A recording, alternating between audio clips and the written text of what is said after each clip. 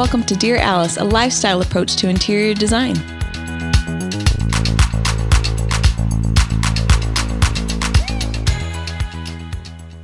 Hello, everyone. Welcome to Dear Alice. We are here with Corey Place Hey, how's it going? and Sue Hall. Hello. Thanks for joining us, guys. Today's podcast is going to be about the business of design, which is a wild business to be in. Guys, it's crazy. It really is. That's fried rice. complicated. And the Yeah. funny thing is, is that I feel like of all the designers out there, somehow we all do what we do very differently. Oh, for it's not like I don't know about you, but in school they didn't teach you like this is the business of design and this is how you should run your business. no, They, just taught you the art of design, right? And the different types of design, commercial, residential, Uh-huh. right? Have like little classes that tell you about like how to do purchase orders, how to do sales estimates, how to like work with vendors, things like that, Mm-hmm. like internal trade things that you ne- you'll need to know. But how to run a business, it's just it's too. It's about it's like saying like women, there's only one way to have a baby, and this is how you do. it. Yeah. you know, like and, Yeah. and you have to go to this birthing center. Like there's just like you can do things so many different ways, Mm-hmm. you know. As- And a design, it's not only subjective and it's like aesthetic, but just like in the way people work, Mhm. how they work with people, how they work internally. It's complicated. It is Yeah. complicated. Usually, like in most design firms, you know, you're wearing like one person is wearing five hats because there's just so many processes that Mm. you have to go through to get it done. So Definitely. anyway, it's complicated. it is Very complicated. complicated. And we're going to get into it today. We are going to get into it. But first, I want to know from Sue and Corey, what are you watching on TV right now? How are you entertaining yourself this fall? I said I told you guys this yes. w- while we were setting up. Um, but for the first time ever, I'm watching The Office. I'm so happy for Yeah, you. I'm on I'm so season. happy. I'm Gosh end of season it. two right now, and it's What a gift. it really is. Yeah, What a gift to get to watch The Office for the first time. I know. it's You so ju- good. That's so It's good. I know to like meet Michael Scott for the very first time, you lucky duck. And do it in 2023, where it's like, So not man, PC. I feel like all of those jokes have like a new meaning. You know, it's For so good. Sure. I'm like, Yeah. yeah. not get away with that. No. But man, is it good to revisit. So good. What about you, Jess? What are you watching? Um, okay, so there's been a writer's strike that's been going on. Mm. We're recording this a little bit early. And so I feel like things that we would normally be excited to watch new, there's not anything new. So I find that this conversation keeps coming up and I'm seeing on people's Instagram, like, what are you guys watching right now? How are you entertaining yourself? And so um, I'm rewatching um, Schitt's Creek. Love that. I think it's my third time watching it through, and I laugh so hard every night right before I go to sleep. And I have to say, there's like some sort of medicine to just being able to just laugh at the end of your day. Mhm. And it's so outrageously funny. And one of the, um, I used to think like when, when people are getting into it, like you might not get it at first, just like maybe start in the fourth season and then go back and watch the first and see how it gets started or whatever. And then Sue had said, no, they have to start in the first because it's when Moira screams the most. Moira's the mom. And favorite. it's so funny. Mm. So when I just started rewatching it, sure enough, what was I watching for? I was watching for all the screaming. Moira does. Sue, do it. yeah, it's so Oh, good. so So funny. It's so funny. And so if you go and you watch and you're waiting to hear the screams, now I hear She's them. like a million like wigs in her hand, and she's just like panicked, and just like the world is like falling apart, and it's Yeah. so funny. It's so funny. so funny. And Adam and I are just dying laughing. I laugh way harder. I'm like a laugh out loud person. And Mm. It's like almost a scream. And then Adam will be like, wait, did you see this? Because I'll like run out to get something for the dog and come back in. And Mm. and and then he'll rewind it. And sure enough, it's like Moira screaming because he knows that that's become the funniest. And I see Sue while she's doing it. And it's like extra funny.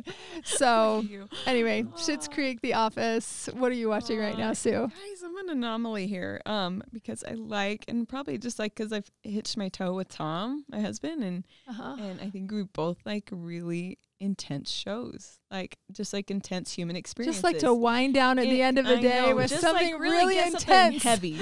I just like a lot of weight on me, like a weighted blanket is like the kind of the kind of shows I watch. But I think it's something about just like the survival of the human spirit, like what what and how it deals with certain situations Uh-huh. and how they crawl out of it because it's Yeah. a crawl. Yeah. I feel like these are like crawling situations, and so um, probably the one that I like loved the most recently. I'm gonna like list three shows right here, and they're all kind of heavy.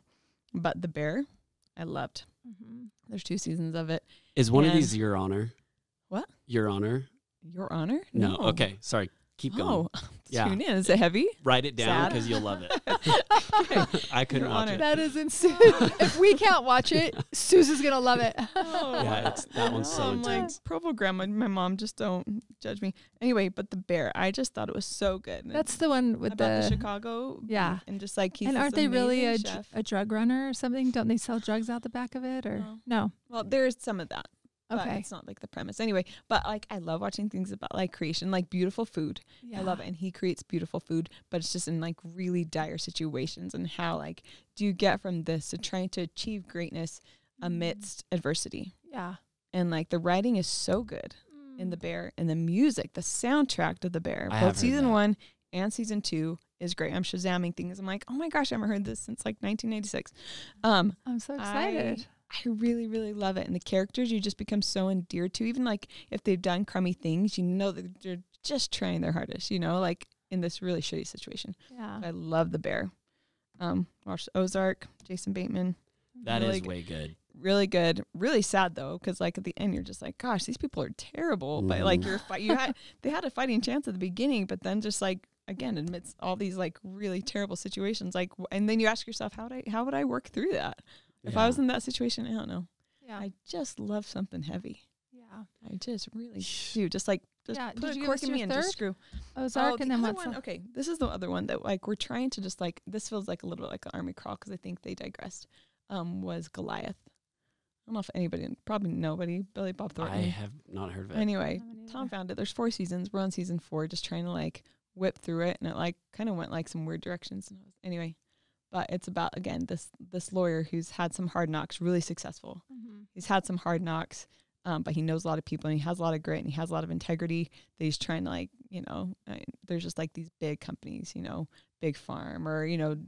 these big, you know, that, and that's I, I love a lawyer show too. I think it's Mhm. really fun to see someone like litigate their way, you know, to truth or justice, or you know, and just how both are at fault, but like which one's more at fault, Mhm. and which one, you know. Anyway, so that's been interesting. And his like cast member, the one who plays Patty, is so funny. She's really witty. So there is some humor in there, or just like some quick wit and street smart that I Mhm. really enjoy. So awesome. sorry, Your, Those are great. there's a deep. Don't dark path. apologize. Uh-huh. Your honor is Bryan Cranston. He's a Okay. judge. Oh yeah, you're gonna love it. Yeah, love it. it's on. It's so justice. intense. It's so intense. Oh, awesome. Yeah. Okay. That's great. Well, next on after season four of Goliath. There you go. Yes. Oh, Okay, you guys, today's Okay. episode started with a question from one of you. So thank you so much for sending your questions. They always inspire podcasts or, or at least one of our 20 questions.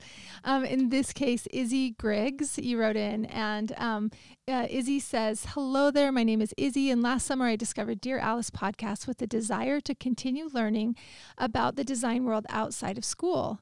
Then I followed Alice Lane Interiors on Instagram and fell in love with your design approach. I'm starting to, um, I, I'm about to start my senior year at University of Kentucky, and I'm in a major need of advice. I would love to hear about your guys' experiences after finishing with a design degree, and any advice that you have for fresh meat. LOL. What characteristics of designers stand out to you? This is such a good question, Izzy. Oh, Uh, and kudos for getting through know. um, almost your whole degree. Kentucky. That's awesome. That is awesome. Very and thank cool. you for the compliments and for following along. So fun. Um, okay, let's talk about um, what you did right after design school and any great advice that we could give Izzy. This comes at a really good time, I think, too, with like fall, because like every even now, and I'm like, well, you know, 15 plus years out of school, and still to this day, when like fall happens, I'm like, I gotta get up to Logan. I have to go through Sardine Canyon. Logan is where Utah State is, and that's where like Jess and I both went, and a lot of, a lot of Alice Lane employees um, went and did their design program, and I just like I love this time of year because I think of school, and I, I'm like, what a joy for you, Izzy, to be in school right now Mhm. and to be finishing up because like in school it's like playland Yeah. it's subjective like i mean like i remember like in school like actually this is terrible Mhm. you would never hire me if I did this now. Um, I would like make the furniture blocks the way I wanted them to, so I could fit all the things I wanted to, because I wanted the drawing to be better, you know. Or just I'm like, I feel like cool though today, like we could shrink a furniture block and then look for a piece that size Yeah, just to get the space You money, right? but Yeah. Then, but then I just like made my own. well, you know what? It was a student thing, shooting project. The drawing, Is a furniture block Yeah. like in CAD? Like this is the Mhm, sofa, yeah. and you would make it to fit and that. like room? a three, okay. yeah, in a three D program, like you'd extrude something. Like anyway, normally, we would look up a sofa from Hickory Chair, and the, and the dimensions are 87 by 42. Mm, Suzanne damn, would say, inches too big. "I really need a sofa that's 60 inch by 36," so she would squish it, and it would just it would work for sketch her some floor plan. pillowing on there, and it'll be fine, but it'll Yeah, look better. she would custom Great. make it. Is Yeah, what yeah, she's saying. Yeah. yeah. Anyway, so school's really fun. Izzy, Uh-huh. excited for you. But I will say, like, when you graduate, um, what I did is I came back to Utah. I did, I did, I had some neat experiences and cool internships. And I think, I think too, even like as you're graduating, um, don't limit yourself to like where you're at Mhm. You for your I mean? internship, for, for your or internship. or for school as or well. For, for school, your Mhm. internship, your after, like if you have someone or somewhere that you want to go, do it.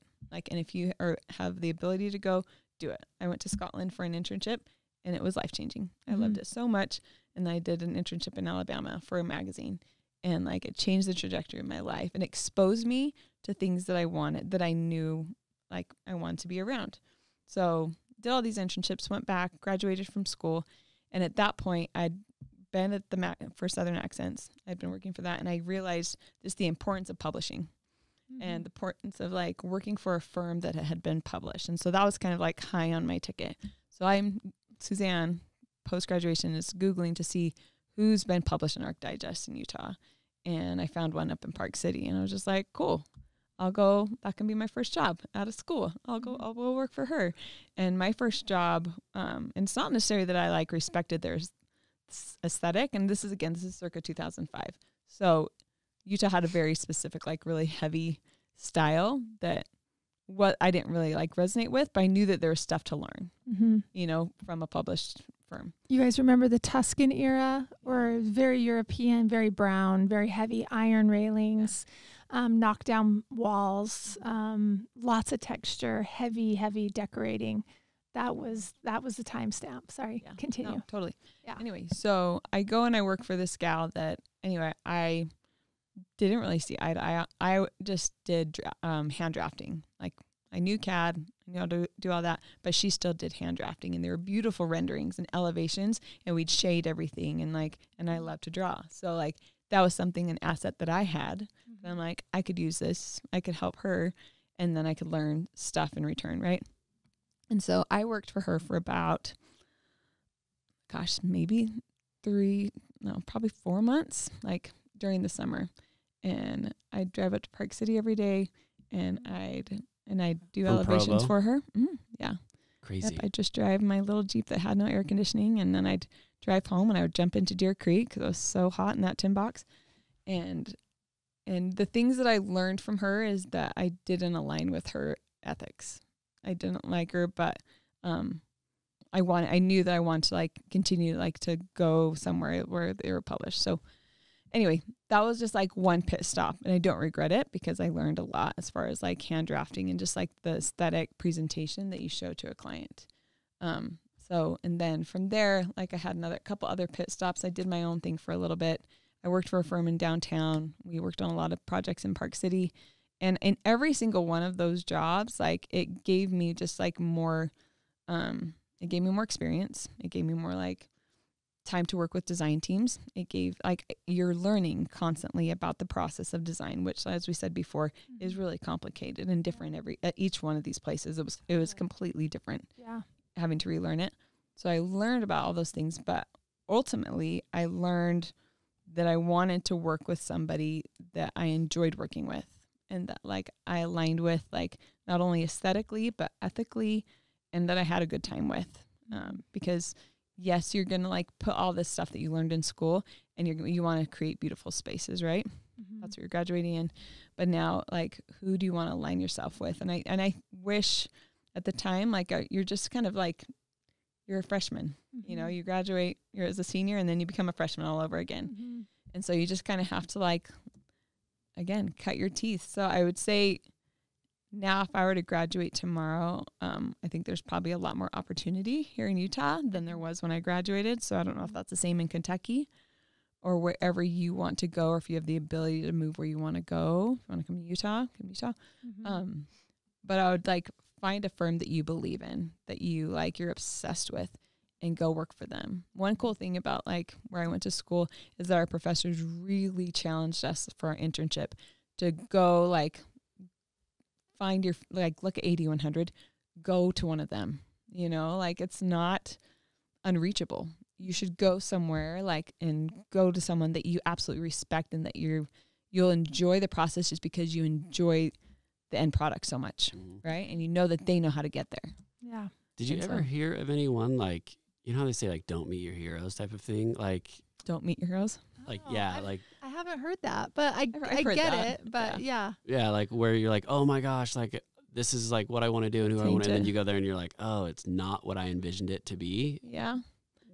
Um I don't know. to that I, I would say that you you do see how human people are. You know. I think again, just on social media, everything is shown with a beautiful filter on it, but re- rarely do you get to see the behind the scenes, and and that's what you need to know to understand where you want to land. You yeah, ha- you'll you'll get to know the behind the scenes and like what the firm is really about, how much they support their employees, how much they care about their clients. You know, again, the ethics thing is so I think is so is really critical because honestly, I worked for several women and I just like I didn't align with them, and I was just like, especially after that first job, I'm like, I would see how you know, and I will say back then, and probably still in some situations this happens now. Um, you really had like as a woman in business and in design working like with builders in a male dominant trades, right? Yeah. um, they had to be kind of authoritative to get what they want, which can often come off being, you know, a bitch, you know, or just like too, and that was frowned upon. So I can see like how she probably got there to that point, um, but she just made it miserable to work for. You're Miserable. just trying to demand and respect so yeah, or be something. yeah, be sympathetic to like where they're coming from, but is it who you want to be with? You know, at the end of the day. And and until like so I, I worked for several firms and then I met Jess who actually she was in advertising. She she you know, and so I think that that's why the fresh perspective was so I was so drawn to because I was just like, oh, finally, someone I like I we- it was just just didn't feel like work. You know, we talked about that and like how we all met and and we said it on here before, but um, just getting to a place where you know yourself, Izzy, and you know what you stand for, you know what you want to put out in the world, and you know who you want to learn it from. That's where you go. I like that. That's where you apply. yeah. And you know, if you don't get that job, send them another email, a follow up email, and be like, "I'll do anything." And I will say to your other question of like, what characteristics of designers stand out to you, like in the hiring process? Mhm. The ones that I feel like the shooting stars that have come here, and some of them aren't here anymore because like they had greater things to do. and I completely support them. Are the ones that are just like, give me anything. We had we had one designer who I dearly love, and he was just like he had a beautiful mind. And I remember when he first started working here, he he was just like, give me anything. I'll do whatever. He's like, I don't care if it's billable. Just Yeah. give me anything. Just I give me just want to do it all. Try it I want to learn. And Yeah. just like, and he grew the fastest Yeah. because he It's was willing. attitude. He was willing to to like just get in there and help with anything, regardless, packaging, pricing, you know, cleaning up Mhm. samples, ordering samples, cleaning the library, whatever it is. Just be so anxiously engaged, Mhm. and they'll they'll trust you. Yeah. You know, if you do a great job. Because So, there's nothing worse than being bored. You Oh, know, yeah. your days go by so long. Your thought, your brain starts to make up stories. You do you know what I mean? Like you start to Totally. horribilize. And so I feel like, I mean, even some advice giving, you know, my daughter as she starts college was just like, stay busy. If you have extra time, get a part time job because busy people attract great things and you can you can meet more people you're higher energy you learn how to prioritize time.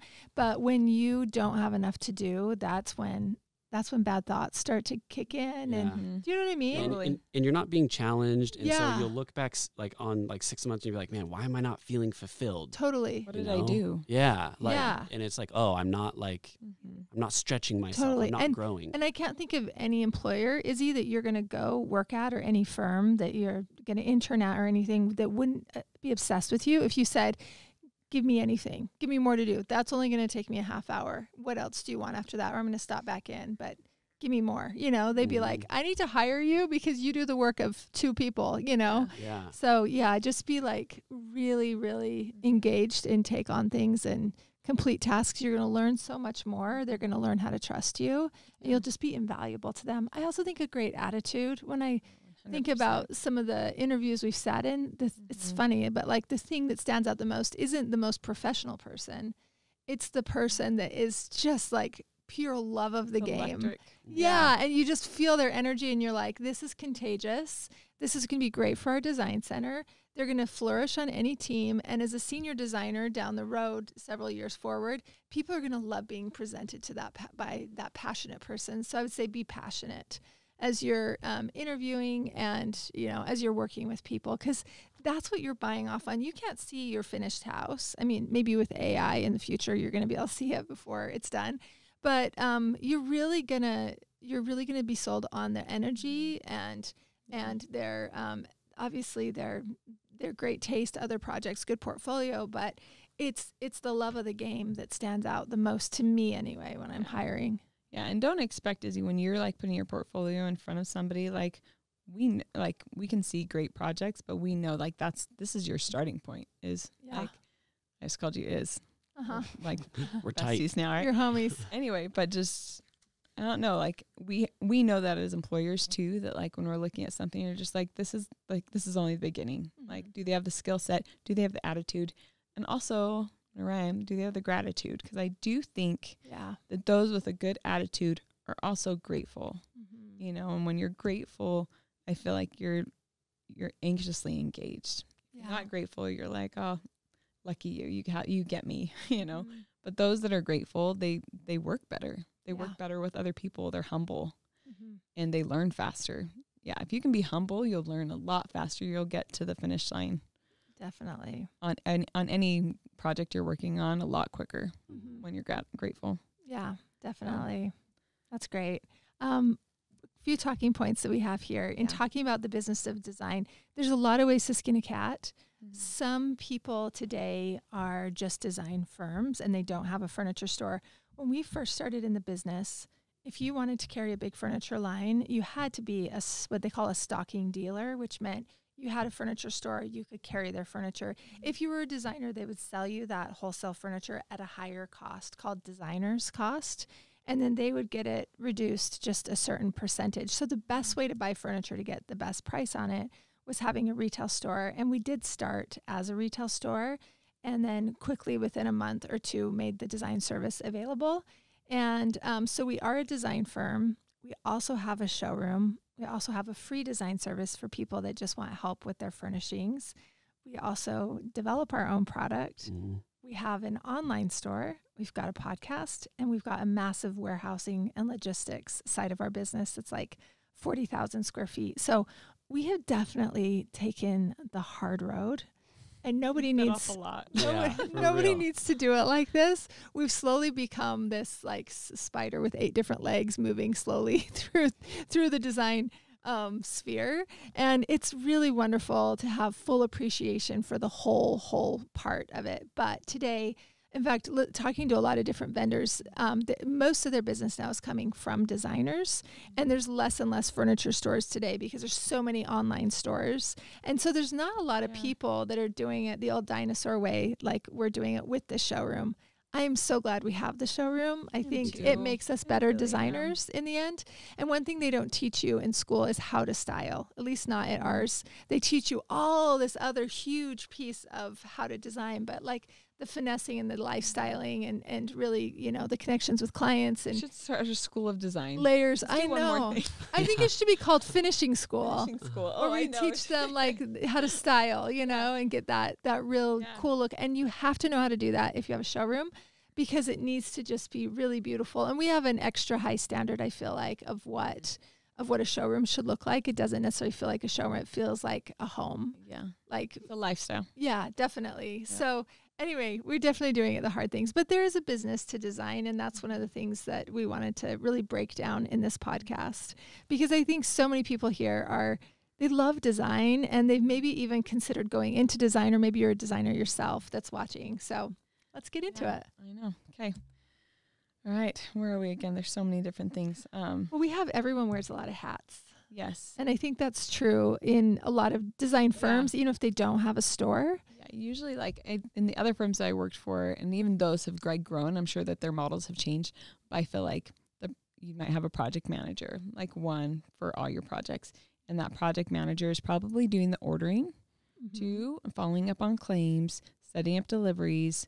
Like there's so many things. If you think about like building a house and like getting all the design done, communicating all that to a builder to Mhm. actually like erect and like make this home, but then like you're getting furniture, you're pitching furniture, you're getting samples to dress all this furniture, then you are ordering all the furniture to get to, you know, maybe a different state. You're get contacting a receiving warehouse. You're, you know, someone has to follow all those balls Yeah. you know, then like everyone's the warehouse is getting all the furniture. Then someone checking for claims before we fly out there or go to the install to then like install it. What about accessories?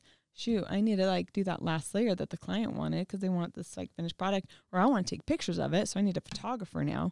Yeah. After I style it, hopefully I have some styling, and then we want to submit this to publishing. How does that work? Mhm. There are so many different things, and then you're like, let's market it. Should Yeah. we market it?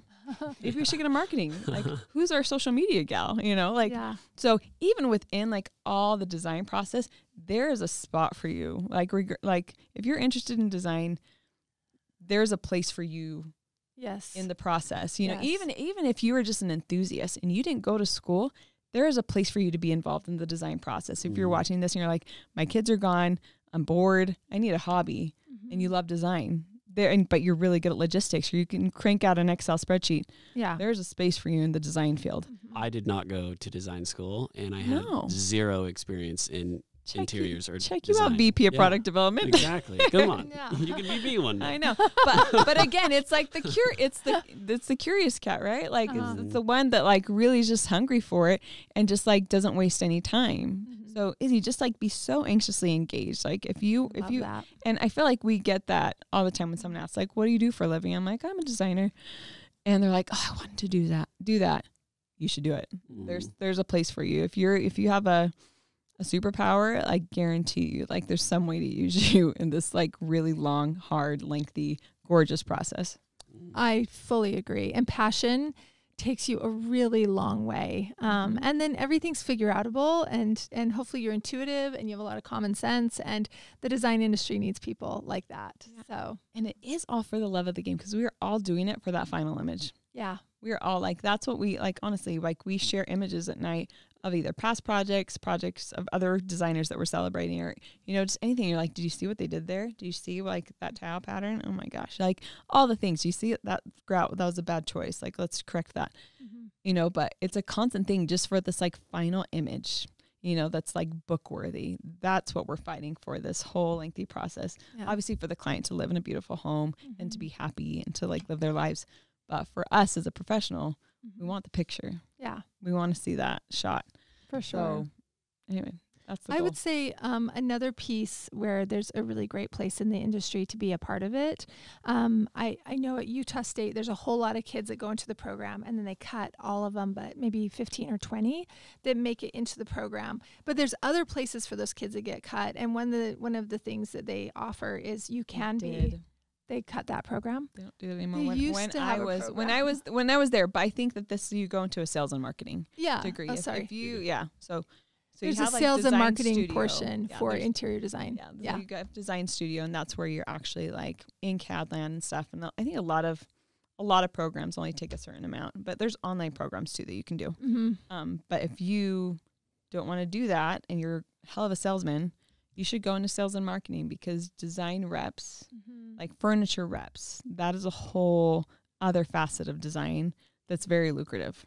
I think. Yeah, I think probably more lucrative than being a designer, depending on yeah. where you land. Um, but the, if they get a couple of really great lines, um, I think they a really lovely living. And, what, and you're still surrounded by designers. You're helping designers, supporting them, getting their you're furniture. market, you're You go to all of the markets. You're showing things around, and um, you're you know you're on the forefront of the industry. You're seeing what's coming. You're educating designers on what's new, what's next, the sit, the fill, the pitch, the all of the things like that. So you're still in it, but it's just a different way, and you're supporting them through sales. And um, I think that's another really great, worthy option. Yeah. So again, just Yeah. like you we talked about, like finding a firm or somewhere that you want to that work for that you admire. If there's a brand or a lifestyle that you're just like, I dig the way they mm-hmm. they design. I want to be a part of that. Get your head in there, like get, figure it out. And I bet if you're anxious enough, like you'll you can climb your way up. Definitely. So Yeah, that's Yeah. great. We have down here, where will you be the most satisfied? Mm-hmm. And I think satisfaction, you know, that kind of stems from what you were saying, Sue, earlier, that you tried a few on and it wasn't quite the right fit. yeah, at the end of the day, you want to find yourself in a in a job where it's it's satisfying to you to be able to do that work and push it forward. And there's like we said a lot of different arms to do it in, but but really try and find yourself somewhere that is satisfying to you on some level because mm-hmm. that's going to give you the gas in your tank and the passion to make you extra good at what you're doing. So true. Yeah. yeah. Because I mean, at the end of the day, we're all we're all working. We all have lives after work, but like it's a large, it's a large majority of the hours of our lives that we spend working. you know, so who are you working with?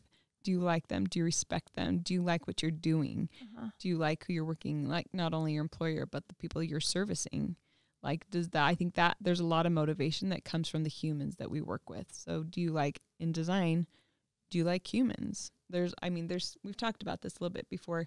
There's some people that are people facing, mm-hmm. you know, that you're just like, okay, they are they're a light and they're electric and then there's some people that are aren't as comfortable getting in front of people or they don't like selling stuff and and we're selling a lifestyle. We're selling something we believe in. So mm-hmm. oftentimes we don't think of it as a sales job, but at the end of the day, we're trying to make this thing come to life, which includes sales. Mhm. And so you do have to like be okay. Like if you want to be like in front of people, you have to be okay with public speaking. You have to be okay like trying to trying to convince someone that like this is the right direction based off of your expert knowledge. Mhm. So yeah. Where am I going with this? But Yeah. also also say is that like the people you work with, you know, respect the firm that you're with, and I think, yeah, and just be anxious, Yeah. anxious to learn and anxious to get the ball where it needs to go. Yep. We have a note down here about self evaluation, knowing your strengths and weaknesses. That's good. This is really important. I know one of the questions that we ask a lot when we're interviewing is, um, what's your superpower? Mm-hmm. I think being really self aware and it will help you get into the right pocket within design mm-hmm. um, because you'll really know what you're good at. And like we said, there's several hats that you can wear, but if you know going into it, exactly like I have these superpowers and I'm really wanting to work on this. I've had, you know, people come to me and say, I really want to work on my styling. And we're like, great, let's put you on the floor and let's really have you style a couple days a Mhm. week so that you can really sharpen your tool. Um, so besides your strengths and weakness, also like what is it that you want to get better at? Because Mhm. within design, Yeah, you can have that opportunity to to strengthen something. That's probably true of all fields where you're like so many different. where you're like that cro- cross train me, right? Like Mm. I'm good on tires, but I want to be good in the engine. So can I do that sometimes too? Yeah. Or you know, whatever your job is. Um, I think it's probably the same for a lot of fields. But um, I think that self evaluation, like really being clear about what you're good at, what your strengths are, what your weaknesses, and sharing that with your manager, Yeah. and also sharing where you want to go is a great thing in any in any job. Yep, and you'll become an asset Yeah, I think because of those things. I mean, obviously that's the reason you guys asked the question, but it also helps the person that's interviewing you being like, oh, I could plug them in here, and if they can visualize you being, you know what I mean, like where where you could be in their company, Yeah. Mhm. probably getting that job. Yeah. You know? Yeah. 'Cause Every single designer that we have is good at different things. Like not one is alike, and that's the way we want it. We want we want a really broad array of tools in our tool belt. Mhm. You know that can like help this like engine go, and it makes it a lot more dynamic because we have clients with different tastes and different values or whatever, and we have a place for any of them. you know, because we have girls that like are really great at traditional and like a romantic feeling. We have ones that are a little bit more, you know, like pared down, but like really edited, have more masculine taste, or you know. So there's there's so many different clients that come through, and we have a place for all of them, which is really cool. Yeah. It's a cool thing to have. It is cool. Um, attach yourself to people you admire and respect. I think we Mm. touched on that a little Yeah. bit, but just still such a great point. And then the last point we wanted to make was that you must be passionate and able to exude the Mhm. passion and be confident in your style. Ooh, okay. I think this you you mentioned this too when you like you um, interviewed with Adam. Mhm. that He liked your style. You know, again, Yeah. you didn't have a design background, but you had style. Mhm. And Adam like made note, and he's just like, I like his style. I think that's gonna like. I think that's something. You know, in addition to your other qualifications and whatnot. he's it, what, what he told me was like yeah it's like he's very unique and i was i had Mhm. never thought that before i kind of just like You're you. I, yeah i just like kind of yeah just being me and uh, so i thought that was cool that was like one of the best compliments i've Mhm. ever gotten because i not that i try necessarily too hard to be unique but it's cool that yeah, that you someone noticed that about you. yeah yeah Yeah. And I, and I think, you know, back to Anna Wintour, you know, we've talked about this before, but she's not looking for the girl dressed all, in all luxury. She's looking for the one that like was creative about how she put herself together. I think that goes a long way.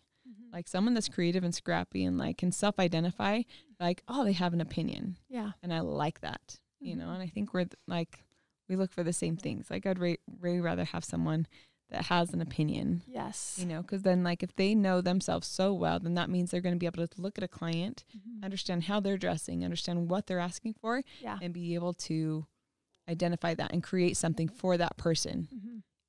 That all makes sense Hundred percent. Okay. Yeah, I totally agree. They've got that point of view, yes. and they respect that other people do as well, and that they're looking to draw that out in their home so that they can tell their story because they know how to do it. yeah Some people don't know how to do it, and they're like, Yeah. "I don't know, am I white or white?" And you're like, "Are we really choosing a color of white?" You know, like Yeah. let's figure out who you really are. Yeah, i remember like being in school and, and again you probably you have this like 20 kids that are probably just like like fresh out of out of high school trying to figure out who they are and they would talk about design demeanor. And you had to have like design demeanor. And to me that was like a j. Crew wool gabardine suit. So you know what i wore on my internship? Every day like a wool gabardine j. Crew suit. And i like Uh-huh. look back at those i'm like i was trying so hard to be Uh-huh. professional you know? And i'm just like oh give that girl some like and i and you know you trying to express it. But yeah, I think this is really great permission to give designers like express yourself. yeah. You know, know who you're presenting to. Like don't disrespect the firm, you know, and the like what what they stand for, you know. Um dress the part but do it your way, yeah, you know?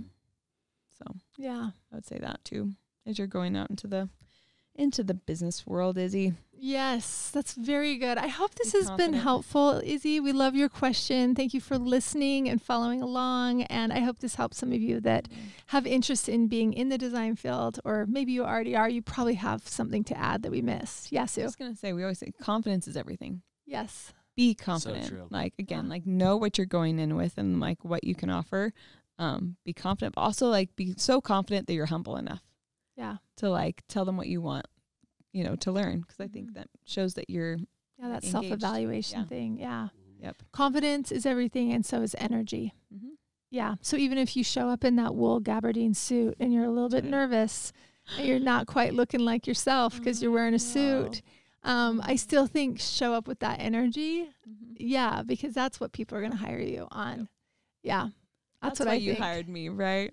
I didn't even remember the suit, but I remember your Well, energy I and I think by that really point, liked I, you. I got I got my wiggles out at that point. you quit wearing the You were- suit. Yeah, for sure. I was like, Shoot, yeah. we should bring that back again. No, but I That'd be was fun. wearing three watches. That's right. That's amazing. but that's but that's you showing up as the style I star know, you and are. that- and that, those are all my grandma's watches. So Yeah. they're small, but Yeah. yeah. It's cute. Yeah. That's what I like about you. yeah. You guys, we're thanks for listening. Um, if you have any questions, please send them to Dear Alice at alicelanehome.com. I said that really fast. Dear One more time. Alice at alicelanehome.com. We would love to be able to read your question here and do a podcast on it. Thanks so much. We'll catch you next time.